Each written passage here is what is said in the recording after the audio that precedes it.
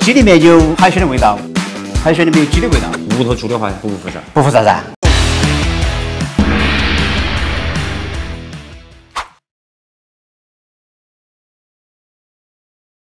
这个才是好久出来的。这是零六年的时候，重庆流行吃煎牛鸡噻。哎，我们可以和鸡和花甲做个江湖菜，大模大辣的，又下酒。这是资格的江湖菜，如何嘛？现在卖的？哎，卖的比较好。嗯，零六年开始卖，每日必点。青红小米辣哈，我一直没搞懂哈。除了颜色上的差异，还有没有其他？辣度，青的来要辣些，红的它只是起一个差色。这好重，半斤。你还整多点嘛？这确实是重口味哦。根据口味儿，屋头如果吃吃的清淡一点，二三年就差不多了。吃的清淡就不是江湖菜了。重庆呢，它的口味比较重一点。像你们店的话哈，一天用那种小米辣用好多斤？两三百斤嘛。两三百斤小米辣。专门两个大姐的海椒，那现在小米辣也不便宜。看季节，最贵的时候小米辣是十几二十几块，最便宜的时候啊三块多。半斤小米辣，我看到都胃痛。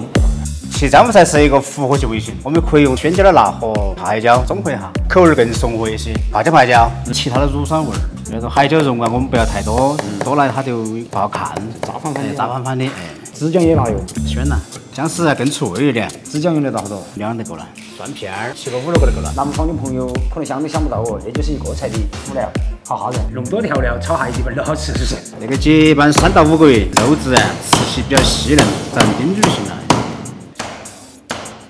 那么切盐鸡精，那我们再切料酒，抓匀，点淀粉，主要是锁住它的鲜味儿，把水分给它锁到噻。锁住，哎。花甲鸡，花甲鸡，顾名思义，花甲炒鸡，炒鸡，锅头炒。但是花甲要先焯个水。切点料酒，去它里面的沙。也检验了哪些是活的，哪些是死的。哎，要不然扎口的啊，都是比较新鲜的。打开就行了，那个不要穿久了，穿久了它的肉啊都一坨。过的油跟那生煎有没啥子区别？煎风味呢比过油要更好一些，更细腻一些啊。所有的鲜味都保持在它的油里，叫原汁原味。原汁原味。加不它的油哎，翻一点哈，五成油温的时候哈。这个油本身不容易打散，是不是？哎，对对对。五成油温基本上下锅炒比较合适。要炒哪里样子？表皮收缩了，哎，来收缩了，这经皮了。这个声音，里面基本声音比较小了。大家这个香味儿，刚开始不是去辣的哈。哎，对对对。灵魂佐料豆瓣酱三克左右，它不是出色，复合味，带丁点酱香。花椒可以重一点，花椒先下一半，生姜。为啥子要分成两次下呀？一个是去味儿，一个是去辣。先下的是去味儿吗？去辣？先去辣，这个江湖菜的感觉就出来了。嘿嘿，然后我们再把它放进去。我们可以吃花椒了哈，我们要融合，然后我们切点料酒，一点蚝油，最后切花椒油噻。哎，切花咱们切花椒油，这看起好安逸哟。哎，好香哦！那真的是在辣子头哟，着鸡哟，半颗还是好着？生煎的口感还是不一样。你一盘菜里面就吃了两个菜，一个就是属于那个爆炒花甲，另外一个就是属于尖椒鸡，吃鸡哈，皮要酥，肉要嫩，煎炒的特点，而且汁水还多。